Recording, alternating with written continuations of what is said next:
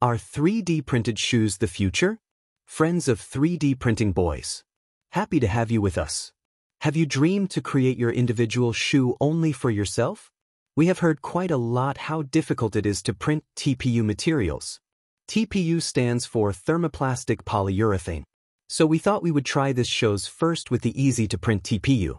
We bought TPU in Shore Grade 95 for AMS and were keen that we could load it directly into our AMS without any additional dry box and special installations.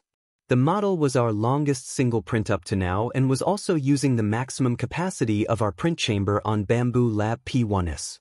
You see these air slides in size 44. In order to print properly, it was necessary to rotate until it was fitting into the chamber. Thank you to Django Cashflow for sharing the model. 59 hours of printing time is needed since TPU needs to be printed slower than other materials. 600 gram of TPU are needed for the shoes. In case you have only one nozzle please consider also the additional support materials that we ended up with 800 gram overall. In case you have two nozzles it is highly recommended to take support PLA as support material since that should be much easier to remove. To remove the support materials really worked fine on the soles, nevertheless within the shoe it is not as easy and some residuals remained in our model.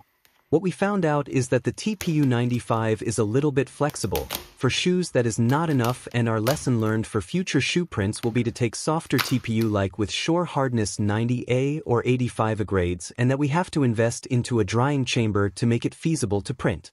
The first shoe what we have now printed is good to display. The test to use it was not as successful since it is not flexible enough so they are not comfortable to wear. It seems still to be a long way to our dream of the future scanning the feet with a 3D app to consider all individual specifics.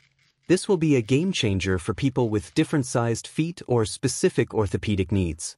Adjusting the individual design exactly how you like it and then sending it on demand to a print shop which will exactly print it like you want to have your shoes. Tell us about your experiences and how you see the future of 3D printed shoes. If you like this video please subscribe and leave us a thumbs up. Do not miss our next video coming up on Friday from 3D Printing Boys.